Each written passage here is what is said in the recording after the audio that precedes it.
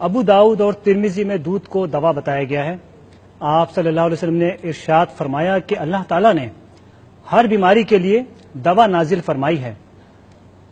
बस गाय का दूध पिया करो, क्योंकि ये हर किस्म के दरख्तों से चरती है।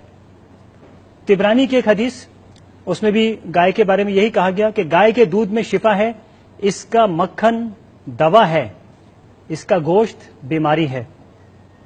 अबू नैम,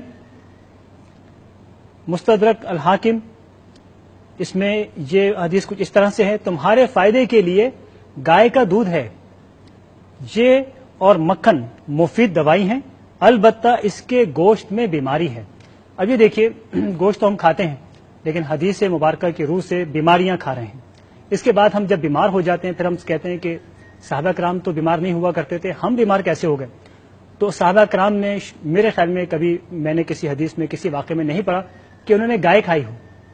अब ये यहाँ पर मुसलमान इसलिए गलत हैं कि अगर वो इस्लामी फरीजा समझ के कर रहे हैं कि कोई इस्लामी जबीहा किया जाएगा और उस गाय को खाया जाएगा, इस्लाम से इस झगड़े का कोई ताल्लुक नहीं। ये उनका एक ट्रेडिशनल है, उनके जज्बात हैं, उनके इमोशंस हैं। वो इसे खाएँ, ना खाएँ। इस्लाम से गाय खाए जाने का कोई ताल्लुक नहीं। अगर कोई इस्लामी जिहाद समझकर हिंदुओं के खिलाफ कोई एक्शन लेता है, गाय काटने पर, और जिद करता है कि मुझे हर सूरत में गाय काटनी है तो वो ये समझ ले कि अहादीस, दो अहादीस हमने पढ़ी।